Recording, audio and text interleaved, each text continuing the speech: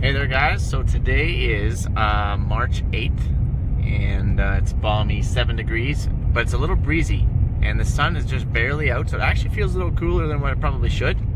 But today we're going soil sampling. Well, what is soil sampling, Mike? Well, let's get to that here in a little bit. All right, other than the fact that we're working on sprayers, we're putting floaters on, um, working on air drills, now we're trying to literally finalize uh, seeding um, Decisive Farming came down with their vehicle here, and we're going to do some soil sampling. All right, so uh, we all have to convoy out of here. Well, uh, not Ken and I. This is Ken. Ken is awesome. Hi. You want to be like Ken, believe me. You want to be like Ken. And if you look in my rearview mirror, we got a convoy of three vehicles back there. So right now we're just going to head off to a field, and we'll see you there. So you should probably get to know Ken a little bit. Um, I've known Ken for a lot of years. Um, he actually worked for, uh, Ken, who'd you work for again? I spent most of my life working for Agriculture and Agri-Food Canada at the Swift Current Research Center and basically spent a lot of time doing salinity research and all the crop research that kind of goes with crops that were salt tolerant. I guess I should probably introduce you to the crew. That's Damon. Damon, you're from, I'm from Shaunavon. The Shaunavon territory area? Manager for Southwest Saskatchewan. wait, what is that again? I missed that. Sorry, I'm the territory manager for Southwest Saskatchewan here. Awesome. I think I'm supposed to deal with Damon when I have uh, decisive farming type questions. And then we got Kayla, Hi. and uh, I used I used to deal with Kayla, and then she got sick of me, and then she just pushed me off to Damon. So Kayla, what do you? What's your? I'm the CSR for his territory as well as Dean, so I cover the whole south Okay. of Saskatchewan. Yeah. Okay, you got that? Okay, and you already you already met Ken. And now we're just gonna go wander over here and meet this guy. You know, I kind of want to take that thing out for a spin. I know they won't let me, but uh, we should probably do a review on this thing. It looks pretty awesome. Not gonna lie.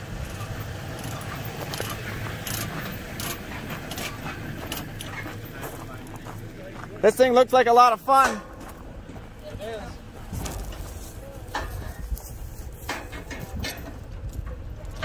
Oh yeah, and this is Ethan, right?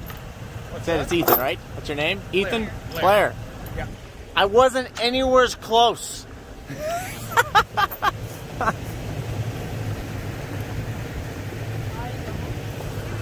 so uh, we actually have been using Decisive Farming now for a little while. Um, actually, we use Farmer's Edge too. So we use Farmer's Edge and Decisive Farming. Uh, Decisive is down here to punch some holes, and uh, that's the rig they're going to use. And I hope that with all of our help, we can answer some of the questions that are most likely going to arise.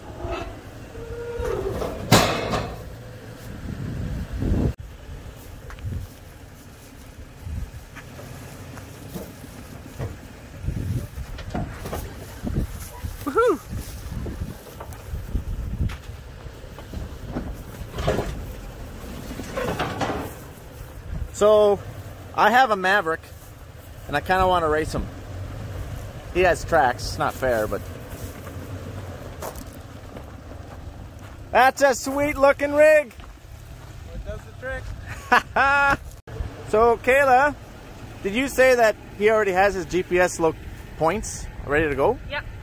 Yeah, so the GIS team will make them Okay. in-house. Who's the GSI team? the GIS? There are Did like you say GS or GSI? GIS. GIS. yes. I'm really struggling today. I'm really struggling. GIS team. So they produce all the satellite imagery and the maps. Okay. And then they produce the soil points so that we can come back next year Okay. to the same. So we're trying to do the same spots every time. That's right. They're all benchmarked. That makes sense. Yep.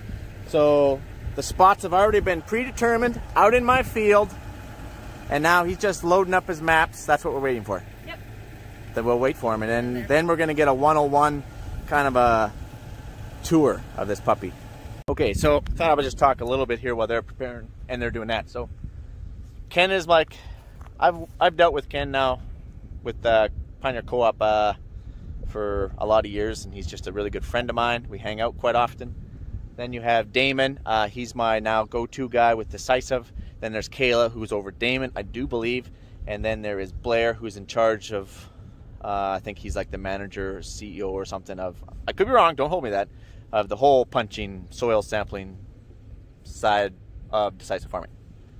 We will let double check that with him to make sure I didn't step on someone's toes. And uh, so I have them all down here because I want to make sure that we can answer some of your questions because I got a lot of questions. My first question is if he's going to let me drive that thing. It's my first question. Ken and I were just noting, as you'll see, there is no snow down here. Uh, we've pretty much already had our runoff. Well, Mike, I have some questions. I figured you probably would. Would you not want to do this, I don't know, like in the fall, not the spring? Ken, wouldn't we want to do this in the fall and not the spring, buddy? Well, there's two best times to soil sample. The Okay. first- the best time to soil sample is immediately before seeding.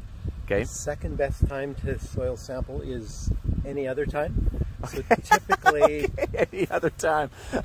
typically you'd want a soil sample in the fall because Okay. time allows you to do that. And, And typically, if you soil sample in the fall, like we're so far behind around here, not, nothing to do with Ken or Decisive. Mike is so far behind that he's almost caught up. But uh, one of the reasons why we would want to soil sample in the fall is so that way we could look at our results. And if you were going to run VR, variable rate your fertilizer, and stuff like that, we would want to know that prior to booking our fertilizer. Where right now our fertilizer is already booked. In fact, it's in bin. So basically, we're just kind of doing a last minute quick check to make sure nothing, no anomalies, or everything looks somewhat okay. And Mike, I know you got other questions. Mike, do you soil sample every field? No, we don't. That would cost a ton. What we do is uh, we start at one side of the farm. We punch some holes in lentils all the way across, punch some holes in durum all the way across, punch some holes in chickpea stubble all the way across, just to kind of get a general idea of what we're looking at. Right? That's kind of what we're doing. Yep. So now we're still waiting for some maps to load. Kind of reminds me of loading up my decisive maps on the X30. Don't. Moving on. so Blair's going to give us a walk around and a 101 of his uh, unit that he's going to let me drive. He just doesn't know that yet. And uh, no, Joe. and uh, this thing, I kind of feel like uh, forget soil sampling. I kind of want to just take it up and go trailing with it up north. That's kind of what I want to do. Uh, but be a blast. I guess since you guys are here for official business, well, we should probably take a peek. So, what do we got in here? That's what I want to know. Should- Can I come around the other side? Yeah, or- yeah, Okay, I'll come around the other side.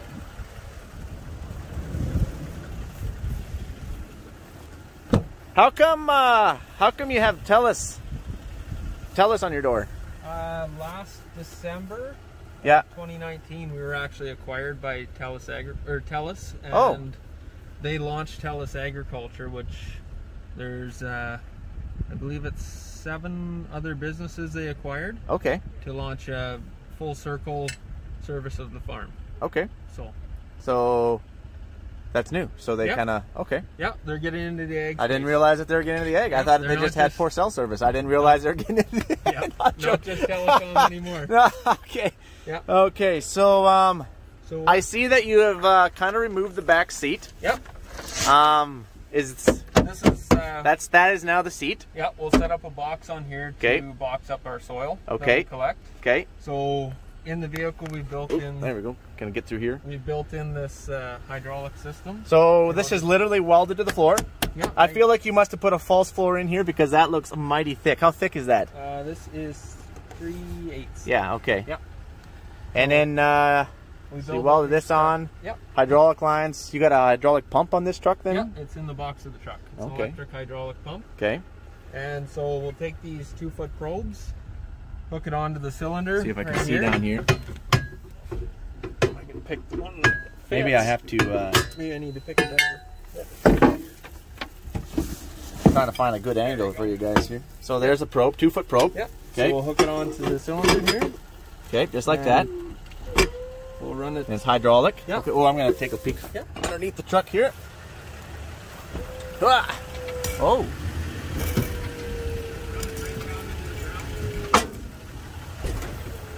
Probably isn't the best spot being the approach. Yeah, it's kind of hard, of the approach. Yeah. Hey, you want to just drive into the field? Yeah, sure. Yeah, let's go. Just let's go drive in the field and do this.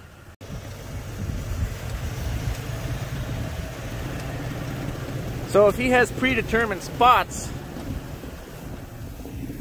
Kayla, is he going to go to his predetermined spot right now? Yeah. Okay. Sorry, I didn't mean to yell at you guys through the mic, but oh, I guess I should have brought my rubber boots. Yeah, that's why he has tracks. So we don't get to ride in the box, is what you're saying, or? well, I see how it is. Okay, is this the predetermined spot? No, Okay, it'll probably be somewhere out in the field.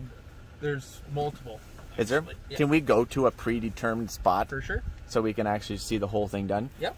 How do I, uh, Ken, how are we gonna get around here? Here, I can. Uh, We're gonna have to get on this thing here somehow. We're gonna have to. We're gonna go have some fun. Ken and I. Uh, we don't want to get stuck. We don't have to get added to the stuck list. We have a farm stuck list, and that's that is newly restarted. Oh. 2021. 2021. Pin it, Harry.